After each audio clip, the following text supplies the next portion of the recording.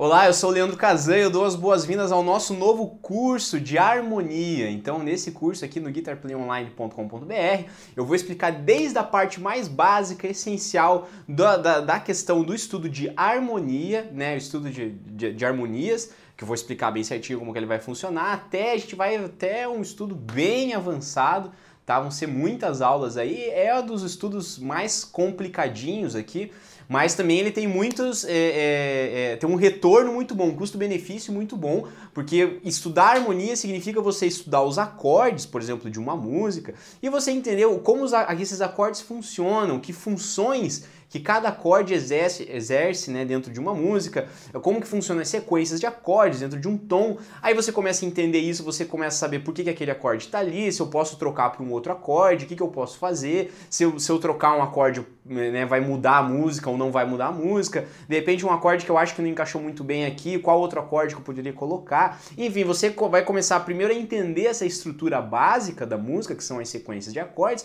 para depois você entender e começar a manipular, isso vai te ajudar a tirar mais música, enfim. Você vai entender o geral da música, você vai entender como que toda, toda essa questão dos acordes e como que a música, né, porque toda música se baseia em cima dos acordes, então ela se baseia em cima da harmonia. Então você, a gente vai estudar meio que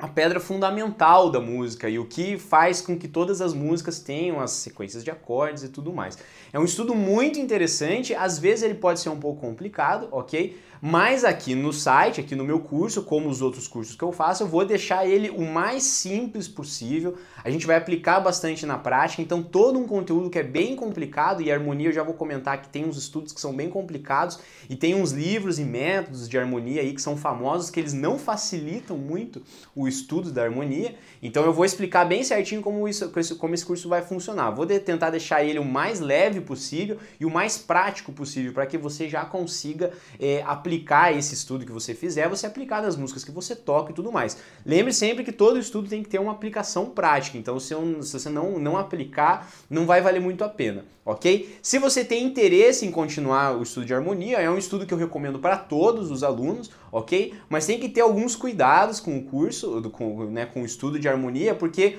corre um risco muito grande de você estudar coisas que às vezes são muito pesadas para o teu conhecimento teórico, por exemplo, e podem te desestimular, podem te desmotivar a estudar harmonia. Eu digo isso porque isso aconteceu comigo também enquanto eu era aluno, aconteceu algumas vezes, então eu demorei para começar a estudar harmonia, ok? E, por, e visando isso, tendo essa experiência, é por isso que eu facilito o máximo possível para os meus alunos através do meu método. Se você tem interesse em fazer o curso de harmonia, eu preciso que você veja esse vídeo de, de introdução, porque aqui eu vou falar sobre algumas questões meio importantes que não se falam, mas que acabam acontecendo na prática aí. Então, se você de repente até tentou estudar harmonia algum, alguma vez e não entendeu, eu já, já passei por isso também quando eu era estudante, eu sei bem o que está passando, e eu, a, a, com esse vídeo de introdução eu vou falar sobre alguns tópicos muito importantes que você precisa saber antes de começar o estudo de harmonia, ok? Então peço que você veja esse vídeo de introdução e daí logo depois a gente já vai começar na primeira aula do estudo de harmonia.